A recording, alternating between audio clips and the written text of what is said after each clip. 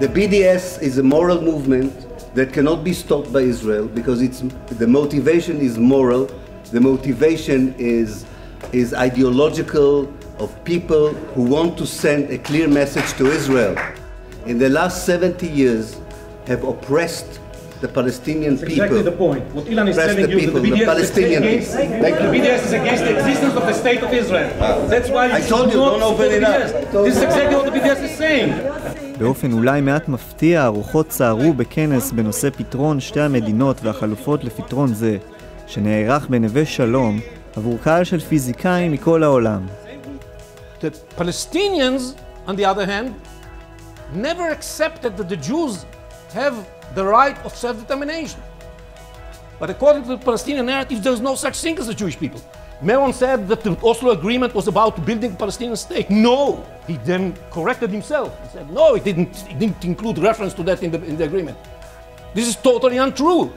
This was the perception of the left in Israel, that this is the purpose of the Oslo Agreement. But Rabin, was the prime minister at the time, in his last appearance before the Knesset, he explained very clearly what he had in mind when he signed the Oslo Agreement.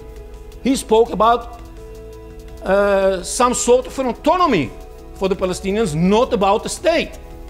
I was uh, personally involved in much of the talks uh, that led up to Oslo um, as part of the Palestinian team, negotiating team, and I can tell you, assure you, that all of us on the Palestinian side were committed to a two state solution with everything that implied, with the recognition of Israel's right to exist, with the that came the demand for the recognition of Israel as a Jewish state, I may remind you, came later in time. At the beginning, all we were asked to do was to recognize the right of Israel to exist, and we did. There was no problem. Anyway, and No, no, much, no. I'm not discussing. Just, uh, no, I did not come into your strategic discussion, so I'm sorry. Uh, okay, I'll forgive you, I think. I've forgiven a lot.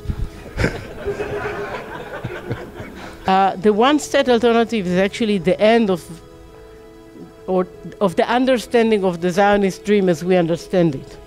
By the way, if I was a Palestinian, uh, I would go for a one state solution. Israel will disappear in a few years.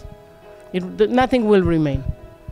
Uh, it will be a binational state, and soon it will be a one national state, and it won't be a Jewish state. One of the best means, from a pragmatic point of view, for a settler colonialist state to survive is to offer partition, for instance.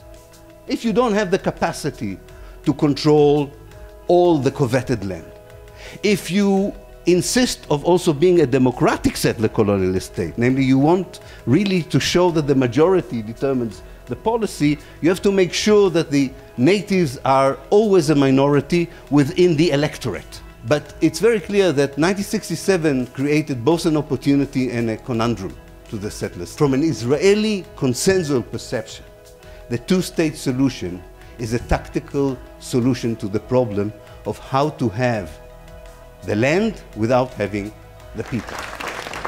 Now, in the EU, we have independent states. And here we are talking about Israel and Palestine, but there is freedom of movement and freedom of residence for all. A German can live in France without asking any permission, and vice versa. We think that such an idea, creating an Israeli Palestinian confederation, a strong confederation that will ensure the rights of all Israelis and Palestinians all over the land, and freedom of movement, freedom of residence, I think this will be a basis for reconciliation. It will be a basis for a new language of hope.